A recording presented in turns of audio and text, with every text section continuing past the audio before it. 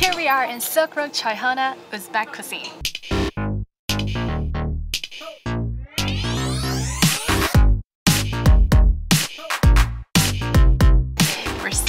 In this private lounge looking like area, sort of like a bed, sort of like a sofa, surrounded by colorful cushions around it. It feels so cozy. Getting ready to order. Can we get the eggplant salad? Is that a popular one that a lot of people order? yes. Yeah, okay, we'll get one of those. Good choice. Good choice. That, isn't that the traditional or the national dish? Yes, yes Yeah. that's right. And it's most popular. here. Is the most popular? Yeah, well, that's yeah. awesome. Chicken kebab. Chicken, okay. Okay, shurpa. Soup, yeah. A lamb soup? Okay, yeah, we'll get a cup of that anything else you would recommend that's really a popular dish? Mante.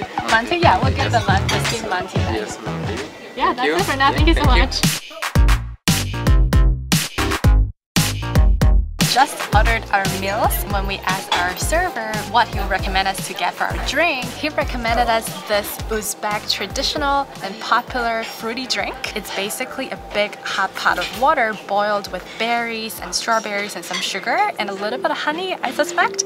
So I'm gonna take my first sip. Oh, this is so fresh. It's just perfect for the summer. It's pretty sweet, very fruity. It's just a berry juice mixed with water with some sugar. This is perfect for any meal, I'd say. We got the eggplant salad to start with.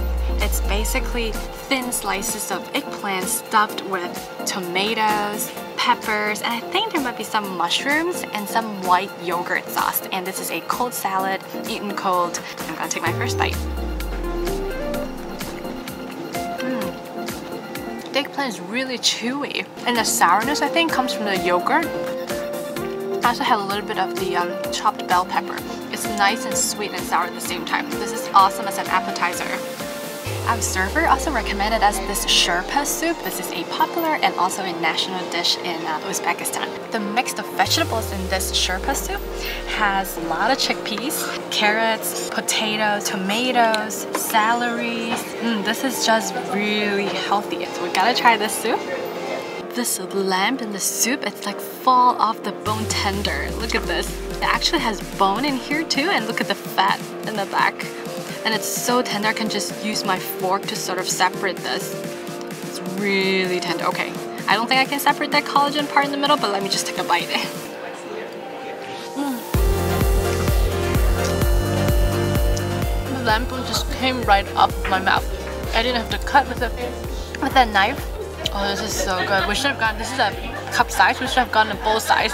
This is called plov and it's Uzbekistan's national signature dish. It's a very commonly cooked dish. People eat at home, outside in the restaurant. And look at this lamb, it's so tender. Mm, This almost tastes like the soup, but it's the dry version of it. The carrot is so soft, it just melts in your mouth. The lamb is so tender, peppery. Oh, this is so good. Literally, this is just like the dry version with rice version of the soup. Oh, I'm peeling off the garlic. It looks like it's just it just melted in there. Look, it's almost like butter. The garlic is not as strong as it looks because it looks like you're gonna take like a whole clove of uh, garlic in your mouth. It's not as strong as that. It's, it's so well seasoned. Manti is basically dumplings stuffed with meat and you can have any kind of meat and I think there's options of pumpkin as well. So we got the beef here mixed with onions. Something that's special about this dish is that it's eaten with yogurt sauce on the side. It's not eaten alone, not with soy sauce like the Chinese style. This is with a yogurt sauce. So I'm gonna take my first bite. Wow, look at this manti. It's stuffed with meat and onion. Beef is very chewy. It might be seasoned with some cumin seasoning inside. And it goes pretty well with the yogurt sauce. I'm pretty surprised. Yeah, the yogurt sauce is pretty light. It's just like gives it a slight sourness to the dumpling. It's perfect.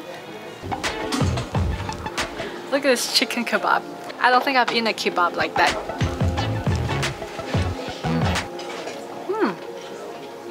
Wow, very nicely grilled, lots of pepper, and I can taste a little bit of sourness already. Just loving how tender all this meat is. Now dip it with the tomato sauce. Tomato sauce is nice and cold. Add a little bit more extra sourness to it.